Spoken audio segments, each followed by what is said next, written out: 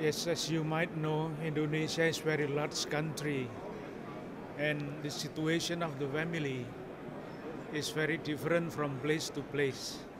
Say, for example, Jakarta, my diocese, is a megapolitan, but on the eastern part, Papua, there are people who live in the jungle.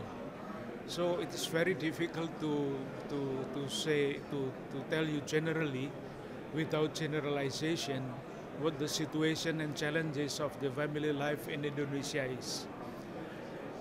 But for example, I, I'll, I'll, I'll tell you some of the situation in Jakarta. Like in the big, big cities everywhere, uh, modern challenges are very actual there. Uh, divorce and modern living, way of life, and secularization. Situation like this, like like like this, are very actual. So there are really a big challenges, many big challenges in in the pastoral of family life. Just to give you a very real example, in my house, in in the house where I live, there is a priest who is in charge of the pastoral family uh, pastoral of the family.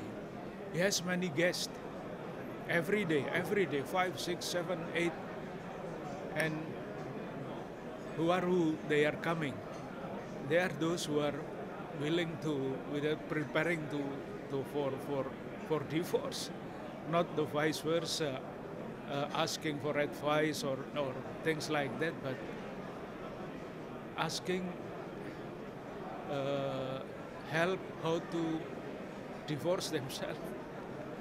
That's really very, very, very, very challenging. But on the other side, we have a commission on the uh, pastoral of the family. Uh, not only in the diocese, but also in, in every parishes.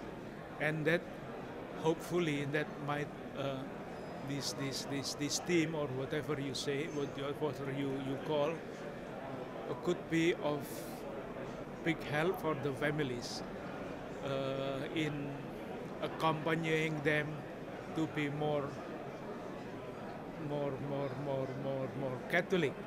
I mean as family more catholic